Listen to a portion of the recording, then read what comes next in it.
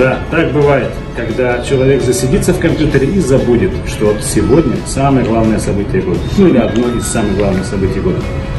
Чтобы не оказаться на месте Эдика, я очень вам рекомендую завернуть в комментарии к этому видео и посмотреть, когда и где будет проходить вечеринка, чтобы не пропустить.